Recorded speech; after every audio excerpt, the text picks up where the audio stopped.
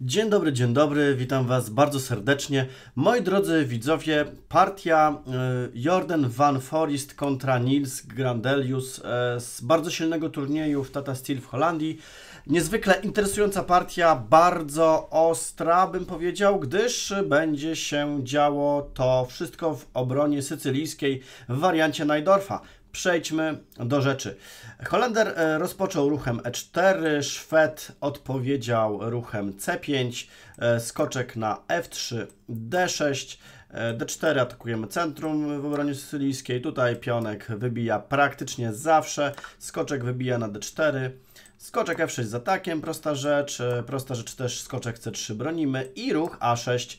No i to jest posunięcie, które tutaj nam właśnie daje obraz obrony sycylijskiej w wariancie Najdorfa, bardzo e, złożonym debiucie, wariancie. Jest tutaj od nóg e, cała masa, no nie wiem, czy jest osoba na świecie, która zna wszystkie warianty e, w obronie Najdorfa. Dajcie znać, jak kogoś znacie takiego. Nie sądzę nawet, że Magnus Carlsen zna wszystkie warianty. Tutaj jest pewnie z jakieś 200 wariantów. Ciężko mi powiedzieć, to już w ramach ciekawostek. Moi drodzy, w tym momencie białe mają dużo do wyboru posunięć. Można zagrać sobie ruch A4, taki teoretyczny ruch, żeby zatrzymać ruch B5. Można sobie spokojnie zagrać goniec na E2, również goniec E3 jest jedne, jednym z wariantów e, i widziałem też F4 posunięcie.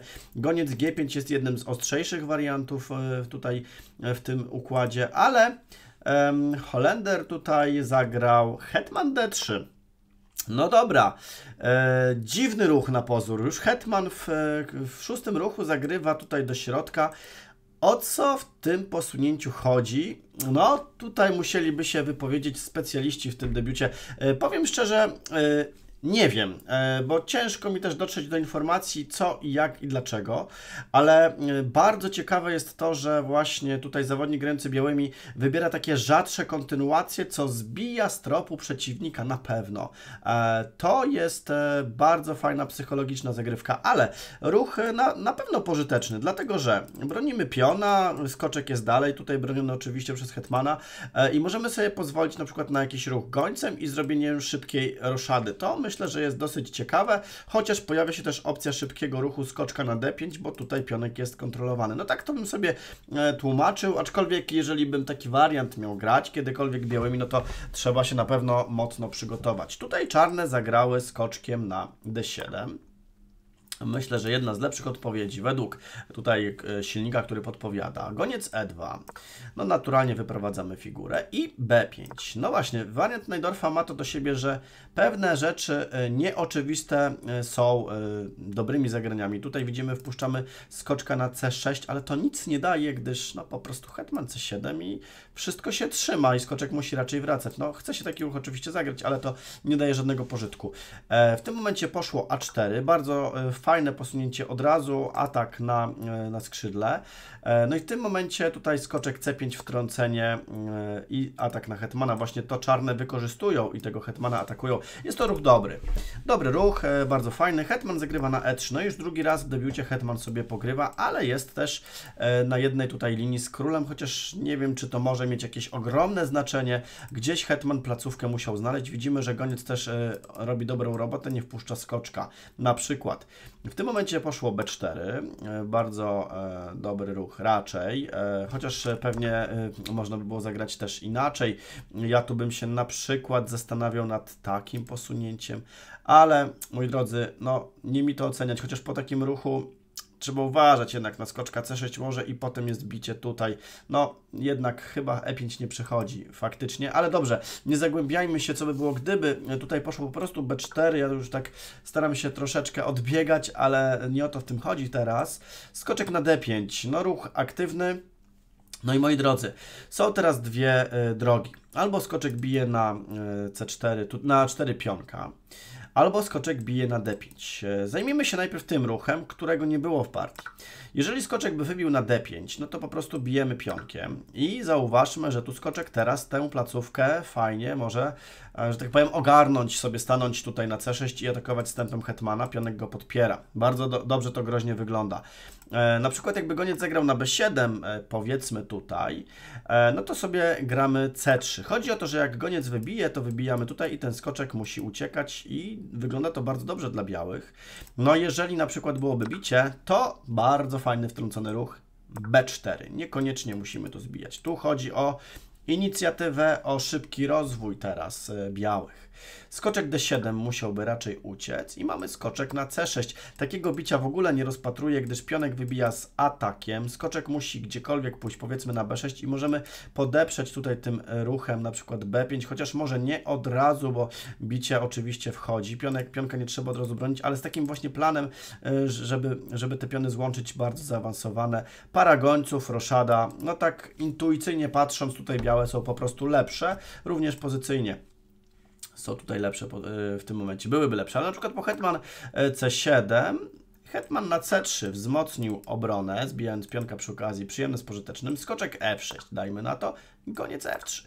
I tu się wszystko pięknie scala, tu się wszystko broni. Jeśli jakaś wieża C8 by nastąpiła, no to wtedy B5 myślę, że bardzo ładnie to wygląda u białych. Myślę, że czarne nie mają to zbierać, są ściśnięte strasznie. No, tak nie poszło. Tak nie poszło, moi drodzy. Tutaj właśnie skoczek wybił na E4. E, w tym momencie zostało zagrane A5. E, no ruch taki myślę, że e, zrozumiały. Tu skoczek chce po prostu wejść na B6, dlatego czarne są zmuszone do wybicia na D5. Hetman wybija. W figurach jest porówno, ale jest E6. No i skoczek obroniony i wszystko niby wygląda dobrze. Czarne mają po prostu pionka więcej. E, myślę, że to jest fajny układ dla czarnych. Silnik ocenia jako lepsza czarnych, moi drodzy, nieznacznie lepsza czarnych e, lub e, troszeczkę równa, więc e, znaczy w tym momencie, e, no powiem tak, silnik silnikami, ale to grają ludzie. Białe pewnie miały to, co chcą, czyli inicjatywę za cenę piona, tak? I tutaj roszada. Właśnie ten szybki rozwój jest bardzo ważny. No dobrze, jak grać czarnymi? No e, tutaj w partii nastąpił goniec D7. No i białe kulturalnie też wyprowadzają gońca na D2. Goniec E7, no trzeba rozwój kończyć i goniec F3. No, myślę, że y, ta diagonala może być, y, może nie tyle co kluczowa, ale jest jakimś punktem zaczepienia, jeśli chodzi o tego skoczka, bo czasem, na przykład jak tym gońcem byśmy tego skoczka wymienili i pionek by wybił, no to zdwojone pionki jesteśmy w stanie jako tako atakować. Myślę, że to jest taki mały plusik tutaj u białych. Tutaj poszło e, schowanie króla i Hetman D3. Właśnie o tym mówię, że teraz jakaś tam opcja się pojawia. Jak reagują czarne? Czarne zagrały Hetman B8 i pozwalają białym na to bicie. Białe tego nie czynią, gdyż interesuje ich bardziej zagranie właśnie C4. Myślę, że lepsze, gdyż chcemy odpędzić skoczka, ale pamiętajmy, że jeszcze jest coś takiego jak bicie w przelocie. Odbijamy pionkiem. Wtedy tak, oczywiście w partii poszło i grozi ruch C4, bardzo niebezpieczny zresztą, e, dlatego też i wieża zagrywa na A7, moi drodzy, i wieża wchodzi F na B1. No właśnie, e, tutaj e, ta inicjatywa się pokazuje e, ze strony białych. Komputer ocenia jako równiuteńką pozycję, ale to silnik. Silnik musi tutaj wykonywać e, precyzyjne ruchy czarnymi, żeby tak ocenić pozycję. No to grają ludzie, moi drodzy, ale tutaj e, Grandelius sobie dobrze radzi, gra sobie hetmanem na C8, dobre posunięcie cały czas i pionek E, tutaj skoczka odpędza, skoczek na F6. Tak naprawdę, moi drodzy, ja nie wiem, w którym momencie tutaj e, czarne popełniły błąd. Może po prostu e, zagrając tutaj skoczkiem na F6, może by trzeba było spróbować zagrać E5 stępem z atakiem na tego skoczka. Ciężko mi to wyjaśnić. Naprawdę złożone takie pozycje bardzo ostre, nawet nie zawsze silnik jest w stanie, myślę, że precyzyjnie e, pomóc. Trzeba było pewnie maszynę włączyć na kilka godzin, żeby oceniła dobrze sytuację i policzyła warianty. E, tak też chyba pracują najlepsi, moi drodzy. Skoczek na F6 po prostu ruszył i teraz następuje piękne zagranie mm, Holendra, moi drodzy. Ruch, e, myślę, że dla wielu niespodziewany, ale jak się gra ostre warianty, to taki ruch trzeba po prostu dostrzec. Bardzo dobry ruch, moi drodzy. Uwaga, skoczek na B5. Bardzo dobre posunięcie. Ten skoczek tutaj ładuje się pod pionka. Świadomie. poszło bicie i pionek wybił. Te pionki tutaj idą jak, e, słuchajcie, mm, niesamowicie mm, piękny marsz pionów następuje, więc e, no, czarne już mogłyby składać broń, więc trzeba oddać tutaj e, tę figurę. Moi drodzy, mm, ale jeszcze tutaj sobie cofniemy co by na przykład jakby, co by było jakby na przykład skoczek zagrał na D5. Po skoczku D5 chodzi o to, żeby zasłonić tego gońca i jesteśmy w stanie jak, jakoś te pionki zatrzymać w, ty, w tym, na tym etapie, bo na przykład jeżeli tutaj poszłoby y, A6, to skoczek może jest w stanie zagrać B6, no i takie małe cierpienie, ale na przykład po wybiciu i wybiciu B6, bardzo fajny ruch wtrącony, goniec F5, hetman B3. Tutaj można oczywiście zbić od razu wieżę, ale wtrącić na C2 nie zaszkodzi, hetman B4 to jakieś tam małe niuanse, myślę, że nieznaczące y, za bardzo. Y, goniec bije na B1, wieża B1, E, i na przykład wieża na e, D7. Moi drodzy, i gramy tutaj B7. Zauważmy, że białe mają wieżę mniej, ale te piony idą, więc należy oddać tutaj wieżę za pionka i hetman bije na B7. E, no ta pozycja jest nieco lepsza białych, mimo wszystko silnik, nie wiem, czy widzi tutaj obronę, jakąś tam niby widzi, ale ja widzę proste, proste szachy. Jeżeli przykład hetman C2, no myślę, że goniec F4, a potem idę sobie po prostu pionem, taki mam plan nie widzę nic innego, jak tutaj można e, grać białymi, a też nie widzę, jak tu się bronić. Ciężko powiedzieć. No cóż, e, może Grandelius widział taki wariant i, i, nie chciał po prostu takiej pozycji. Ciężko mi stwierdzić, no trzeba by go po prostu zapytać. Tutaj e, goniec zbił po prostu tego pionka. Hetman wybił na B5, skoczek zagrał na D7. No gdzieś tutaj stara się broni, bronić prawdopodobnie czarny. No i jest goniec B7, moi drodzy. I tutaj to wygląda po prostu źle. Hetman zagrał na D8 i jeszcze tutaj gwóźdź do trumny A6. Widzimy, yy, pionek i goniec bardzo ograniczyły wieżę i grozi proste zagranie goniec yy, na e3. Tutaj czarne jeszcze walczą, grając tak i atakując wieżę. No i powiem tak, no y, wtrącenie jest oczywiście na A5, też można w ten sposób grać.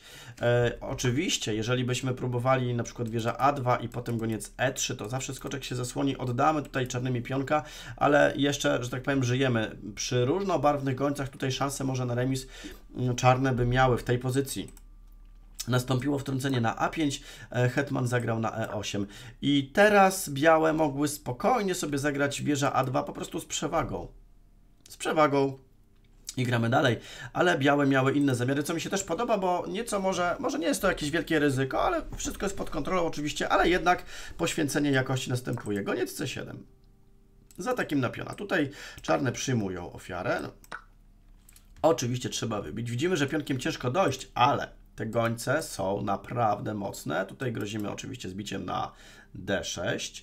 E, I na przykład, jakby e, e, tutaj w partii oczywiście poszło tak, poszło, nie oczywiście, no, poszło D5, ale co by było na przykład poskoczek na C5? To jest dosyć ciekawe zagranie, jeszcze na taką powiedzmy małą pułapkę. Proponujemy wymianę hetmanów, no nie, nie możemy tego wymienić i gramy na przykład hetman B6 z atakiem na wieżę, co się wydaje logiczne i już wygrywające, ale jest taki też ciekawy ruch hetman D7.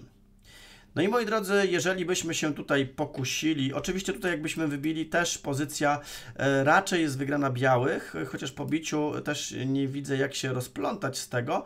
E, mogłoby być e, nieco ciężko dla ludzkiego oka, no ale komputer sobie jakoś to ra tam radzi, można sobie zerknąć później, ale na przykład co by było jakbyśmy tutaj zbili pionka i okazuje się, że atakujemy wieżę, skoczka i w zasadzie szybko wygrywamy. No niestety, następuje piękna bomba, można sobie film zatrzymać i poszukać rozwiązania dla czarnych. Czarne tutaj teraz mają szansę na zwycięstwo. Bardzo ciekawy ruch i niespotykany. Moi drodzy, um, Hetman bije B7. Niesamowita bomba. Okazuje się, że nie można zbić pionkiem, bo dajemy tam mata czarnymi za chwilę. Jak zbijemy e, hetmanem, no to zbijamy też skoczkiem tutaj i czarne rozwiązują się i wygrywają. E, więc w tym momencie na przykład bijemy gońcem tutaj i bardzo ważny ruch, wieża na A8. Zobaczcie, że cały czas to nie przechodzi, bo tutaj są maty na samym końcu.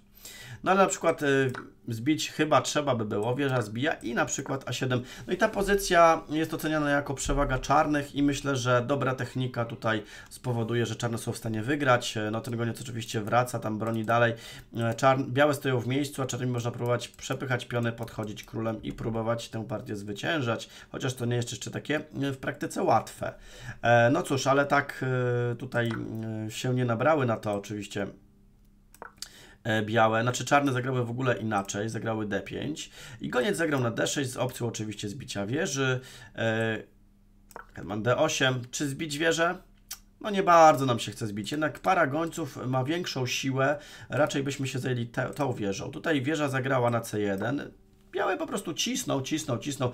W ogóle mm, muszę powiedzieć, że y, tutaj Holender gra dobre szachy w tym turnieju. Naprawdę bardzo kreatywne. E, warto sobie przeanalizować e, większość jego partii z tego turnieju, moi drodzy. G6 ze strony czarnych i H3. Panowie tutaj sobie zrobili lufcik. Król zawsze ma oddech e, z jednej i z drugiej strony. Wieża zagrała na E8. Zauważcie, że nie było bicia wieży. Jednak to jest ważna sprawa, żeby trzymać gońca.